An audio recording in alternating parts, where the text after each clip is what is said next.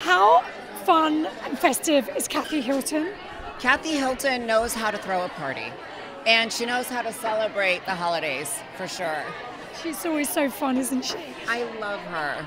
We love seeing you back on The Housewives. Oh, thank you. How how was that experience?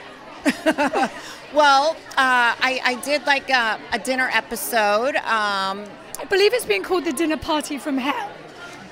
so I've heard. And unfortunately, I didn't do any um, confessionals. So they all had like a little opinion about me, but whatever, I don't care. It was a weed party thrown by someone who's sober, so whatever. Do you, do you feel that's unfair when you've been put in that position and then you don't get to do a confessional?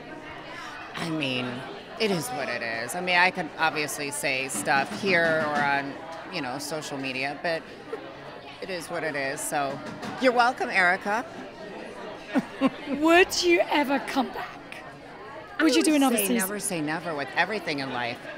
Because I've, I've said, oh, I would never do that. And then, you know, I've changed my mind about different things and stuff. So I always say never say never.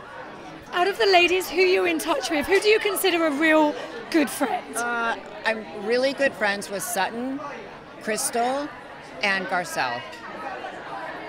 She's a sweetheart. She's a sweetheart. Yeah, I love all of them. They're great women and, and good, good friends. So never say never. you could say be never. back.